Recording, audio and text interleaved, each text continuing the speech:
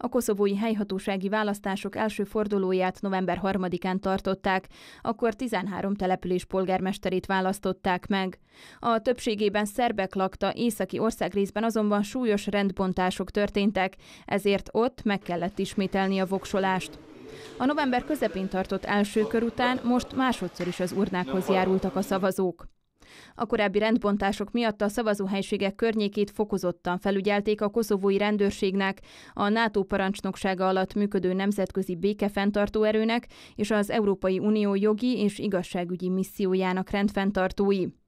Az egyik érintett település Koszovszke Mitrovica. Ebben az iskolában is szavaztak a helyiek, az épület környékén sokan ügyeltek a biztonságra. A szerb jelöltek közül itt Köztimir Pántitya, a szerb lista, és Oliver Ivanovics, a Szociáldemokrata Párt polgármester jelöltje mérettette meg magát a közvetlen polgármester választások második körében.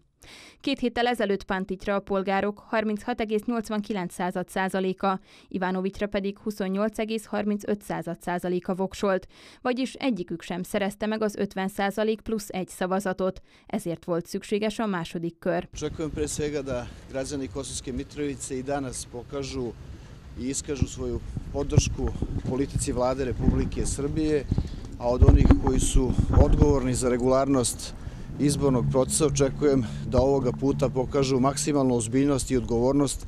Leadta voksát a másik jelölt is. A Szociáldemokrata párt polgármester jelöltje Oliver Ivanović győzelmet vár. Ja se nadam da posle snega dolazi proleći i lepši dani, što znači Mitrovica bi trebala da dobije gradonačelnika kakvog zaslužuje.